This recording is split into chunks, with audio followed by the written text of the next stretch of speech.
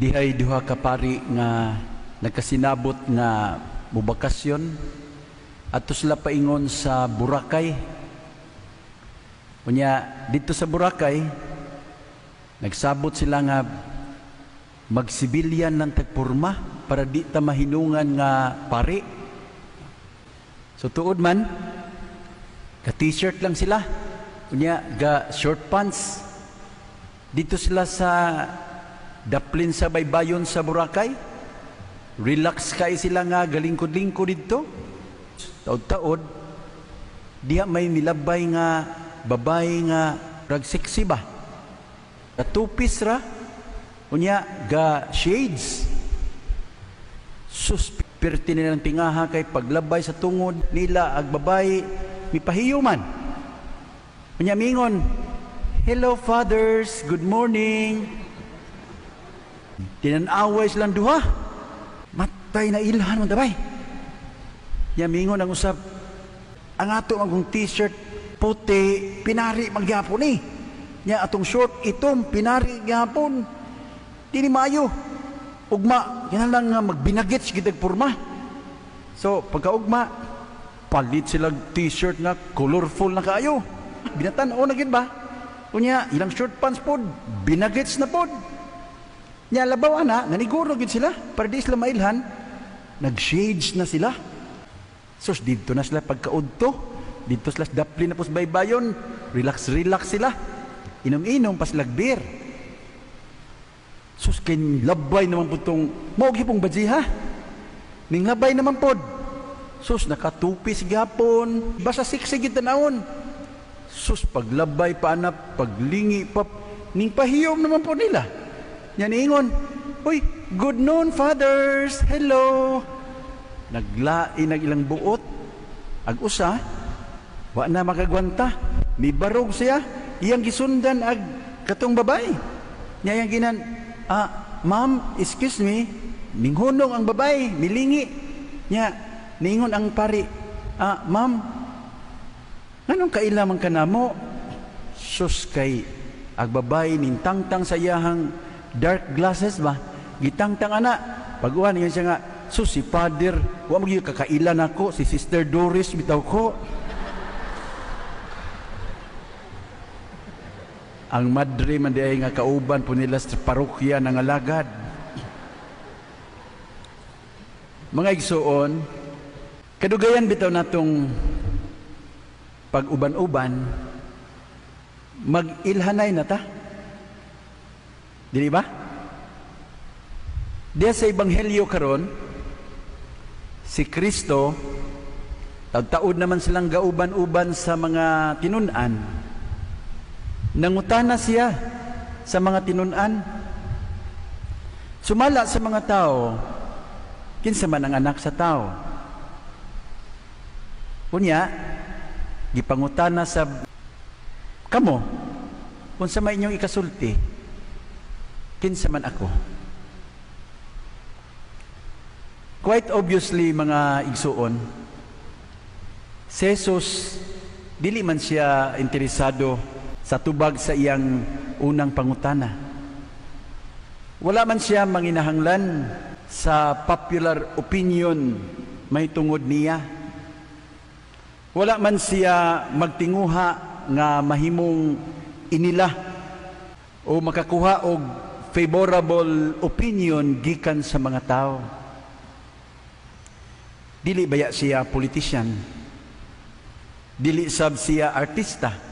Ang iya ramang tinguha mao ang kadayganan sa ngalan sa iyang langitnong amahan. Ug of course, ang katumanan sa iyang misyon dinhi sa kalibutan. Ang gusto niyang masayran mga igsuon mao ang pagkaila sa mga tinunan kaniya. Kini iyang mga sumusunod, kini bang iyang mga higala, nakaila na bakha ni niya? Di ba ang kalawom sa atong panaghigala ay masukod man nato sa kalawom sa atong pag-imilhanay? We cannot be genuine friends if we don't know each other that well. Gusto ni Jesus nga mahibaluan kung ang iyang mga tinunan nakaila na bagyod niya. Doon na siya ibutsok doon. Murag buot niyang susihon kung sila andam na ba alang sa usa ka buluhaton. Kinsa nito bag? Si Pedro. Ikaw mao ang Mesiyas, ang anak sa Dios nga buhi. Kung ang maong tubag kinasingkasing o bunga sa lawom nga kinaadman, wala ta sultihi sa ebanghelyo. Pero definitely, it was a divine inspiration. Si Kristo mismo ang miingon, bulahan ka Simon, kay kining maong kamatuuran, wala magagikan ni bisan kinsang tao, kundili gihatag kanimo sa langit nung amahan. So it was an inspiration from from above. Ang maong tubag gidawat ni Jesus nga timailhan nga ang iyang tinunan mahimo ng hatagan og usa ka dakong misyon. Usa ka dakong tahas, usa ka dakong responsibilidad. Ikaw si Pedro ug ibabaw ni ining bato tukuron ko ang akong simbahan ug bisan ang kamatayon dili makabuntog ni ini. Mga igsuon, ang saktong pag-ila kang Jesus, importante kaayo para sa mga tinunan. Bililhon kini alang sa ilang saktong pag-ila, sa ilang kaugalingon, o sa ilang misyon diha sa simbahan. A correct understanding of God is essential for a correct understanding of their identity and mission in the church. Conversely, a wrong notion of God will also lead to a wrong notion of their identity and mission. Pananglitan, kung ang mga sumusunod magtuo nga si Jesus usa ka political leader then sabto nila ang ilang tagsa-tagsa kakaugalingon nga mga lumalaban dumadapig.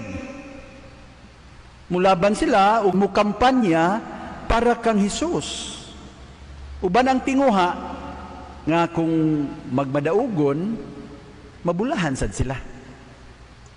Nahinumdum mo sa managsuon nga Juan ug Santiago uban sa ilang inahan unsa may lang gipangayo? Ginoo kung maghari na ka ha ayaw biya mi kalimti ipahiluna ning duha na ko ka anak ang usa diha sa imong tuo ang usa diha sa imong wala. Very political understanding. Mga igsuon na sayod ta unsa ang kasagarang mahitabo sa politika, daghan ang compromises. Ang maayo, pwedeng dauton, ug ang dautan, pwedeng paninduton. Adunay pagpihig-pihig, adunay labanan, aduna say kalimtan. Puwira lang sa mga maayo. Ang pangutan na karon, ingon ani ba ang angay buhaton sa mga sumusunod ni Kristo?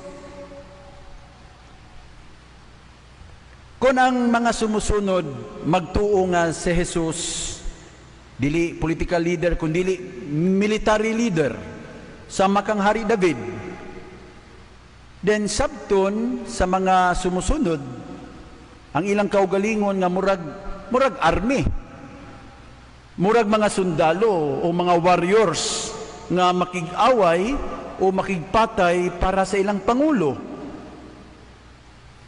Dili sila musugot nga maubos.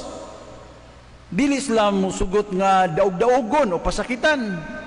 Nainumdum mo ni ni Pedro. Sa dihang gipanagna ni Jesus ang iyang umaabot nga pagpasakit dito sa Jerusalem. Unsay reaksyon ni Pedro? Uy, di na mahitabo. Ginoo, puwira yung taon, di na mahitabo. Diba? So there you go. Sayop nga pag-ila kang Kristo. Abi man nila military leader. Now, ang mga sundalo o mga warriors ha, anda makigpatay, basta lang di gyud mapildi, dili madaog-daog, dili mapasakitan. Now, ang pangutana, ingon ani ba ang angay buhaton sa mga sumusunod ni Kristo? Apan mga igsuon, tanawa ha, kung ang mga sumusunod makasabot lang nga kining Jesus nga ilang giisip nga magtutudlo. Kung sila makailalang sa tinuod nga siya kung sila masayod lang nga si Kristo usa ka maayong magbalantay sa mga karnero malahi gyud ang istorya malahi na usab ang tuno sa ilang pag-ila sa ilang kaugalingon o sa ilang pagbuhat sa ilang misyon diha sa simbahan. Kung si Jesus usa ka maayong magbalantay sa mga karnero, now, salig gid ta. Dili gid ta niya pasagdan. Dili sab ta niya biyaan. Bisan pag may salaag na ta o ila binagyod kung may salaag na ta. Iya gid tang pangitaon aron luwason. Magsakripisyo siya sa iyang kaugalingon. Here is a God who will sacrifice Himself, His life for us. No? Andam siya magpakamatay ba? Para nato. Kung ingon niya na, na ang atong pag-ila kang Kristo, mubati gid ta nga matagusan nato murag tag karnero. Dili gid magpakabuhi dinhi nga murag way Ginoo.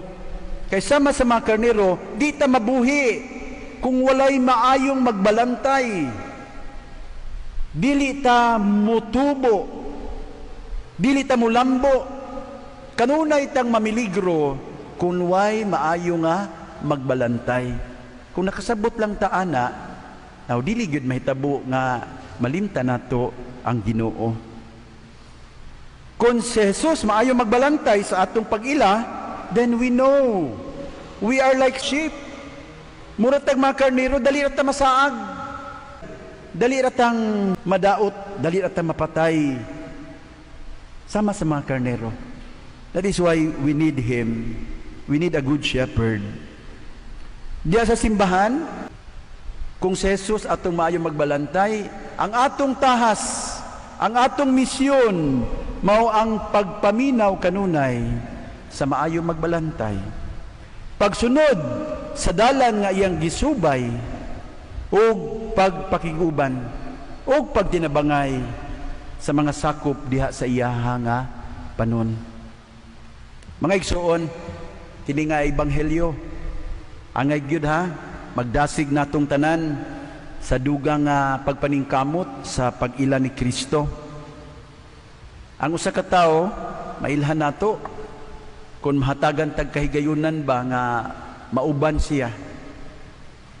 Nya kini atong pag-ila mas mulawom kung mas daghan ang kahigayunan nga gauban ta niya. Ingon ana sa mga atong kinabuhi uban sa Dios. Kung daghan tag panahon, uban siya, damor ta makaila niya. So ang hagit ani sister, pagdugang sa atong panahon, sa pagampo o sa pagpakiguban sa Dios. Aron gyud nga ang atong kasing-kasing makaila na sa kasing-kasing sa Ginoo. Ako lang tapuso ni pinaagi sa pagkutlo sa giingon ni Saint Bonaventure. Agig pagdasig ninyo ba? Unsa man gingon ni Saint Bonaventure, If you learn everything, except Christ, you learn nothing. If you learn nothing except Christ, you learn everything. That's a good point. Nai-caption nga nindot kayo, mubo ra, pero nindot ba? Nagaingon,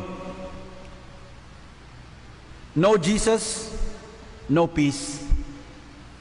Kung wala si Jesus, wagi kalinaw. No Jesus, no peace. Pero sa ubos, no Jesus, no peace. Ilha si Kristo, aron makaila ka og kalinaw.